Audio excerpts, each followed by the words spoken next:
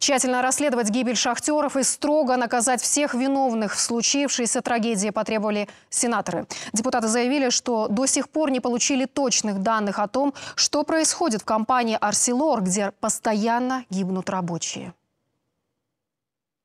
Мы ни разу не заслушали, а что делается в самом Арселоре. Как они в какие-то инвестиции вкладывают. Почему одно и то же происходит? Правительство пишет, что они проверяли. Было 40 проверок. Представляете, а значит, на, на 2400 нарушений найдено. Значит, на 18 миллионов тенге э, штрафы на один, по 11 объектам. Ну и что того? Это же не то. А вы слышали хоть одно уголовное дело? Видели? Ни одного уголовного дела нету. Почему? Не знаю. Это, наверное, не ко мне вопрос, вопрос к прокуратуре.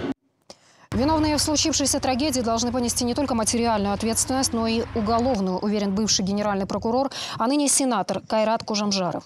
Государство, по словам депутата, должно принять самые суровые меры к руководству компании. Также, по его мнению, необходимо ужесточить требования к учредителям Арселора и усилить их ответственность в случае несоблюдения законодательства. Все виновные должны нести ответственность. В первую очередь нужно доказать, что здесь есть вина руководителей, представителей этой фирмы, а также наличие причинно-следственной связи между этими последствиями и их действием или бездействием. Многое зависит от того, как наши соответствующие органы проведут расследование и смогут все это доказать.